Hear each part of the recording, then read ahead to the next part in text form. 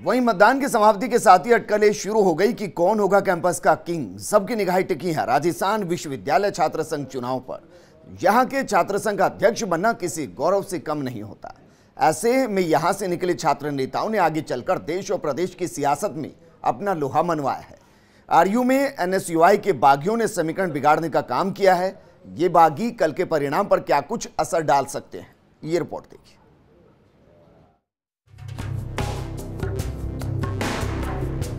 राजस्थान विश्वविद्यालय छात्र संघ का सुनहरा सियासी इतिहास रहा। राजनीति में प्रभावी तौर पर कदम रखने के लिए राजधानी के विश्वविद्यालय का छात्र संघ पदाधिकारी होना प्रभावी माना जाता है। यहाँ के चुनाव सदैव रोमांचक रहे। त्रिकोणीय और चतुष्कोणीय मुकाबले यहाँ देखे जाते रहे। लिंगदो कमेटी की सिफारिशों के बाद नियम कायदे कानून में ज़रूर इन चुनाव के आभा मंडल को कम कर दिया। बावजूद इसके, यहाँ से निकले छात्र संघ अध्यक्ष और पदाधिकारियों ने सियासी मुकाम हासिल किया। मौजूदा आरयू का छात्र संघ चुनाव भी कांटे का है। पूजा वर्मा और मुकेश चौधरी ने समीकरण बिगाड़ने का काम किया। एबीवीपी अपने कार्डर के लिहाज से सेफ़ जोन में खुद को मान रही है, लेकिन सत्ताधारी दल के छात्र संगठन का लाभ होने की उम्मीद एनएसयूआई लगा रही है। हालाँकि पूजा वर्मा ने एससी और एस वोटों में सेंध लगाने का काम किया, जो सीधे तौर पर एनएसयूआई के लिए चुनौती है। वहीं मुकेश चौधरी ने भी कांग्रेस विचारधारा के वोट बैंक में सेंध लगाने का काम किया। पिछले चुनाव में भी हमने देखा था कि तीसरा चेहरा विनोद जाखड़ ने एनएसयूआई और एबीवीपी को चारों खाने चित करने का काम किया था। इतिहास पर गौर करें तो हम आपको बताते हैं कि किस तरह दिग्गज चेहरों ने अपने दम पर आरयू छात्र संघ अध्यक्ष का ताज अपने नाम किया।